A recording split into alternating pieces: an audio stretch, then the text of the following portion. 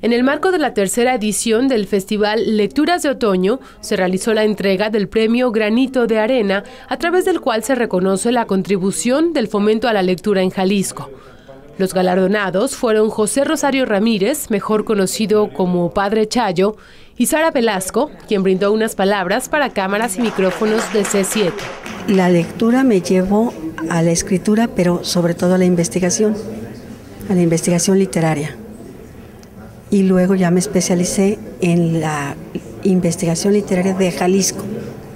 Me fui, fui reduciendo mi campo.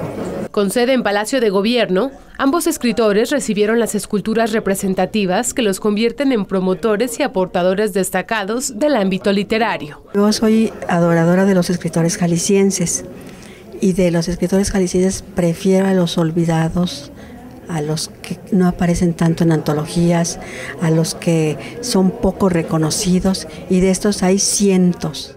Para Elementos, Verónica Sánchez.